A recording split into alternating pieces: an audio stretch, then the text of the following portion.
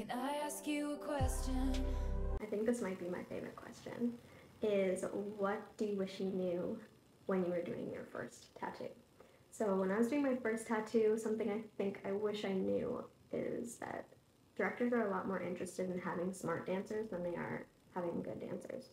So by that I mean I was very insecure about being one of the more technical dancers on the team. Like I really wanted to prove myself and be one of the most technical dancers on the team. That was kind of like one of my goals wanting to go in. And, you know, not having been a super strong competitive dancer when I was younger, I was like quite insecure about my level of ability amongst all the other dancers.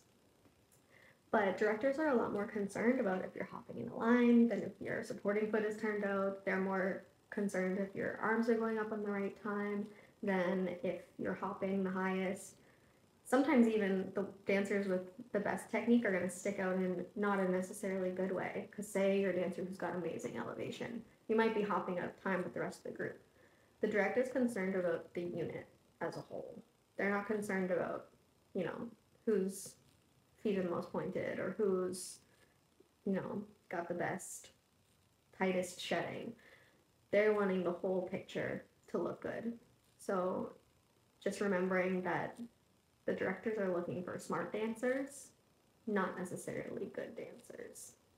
So be the smart dancer.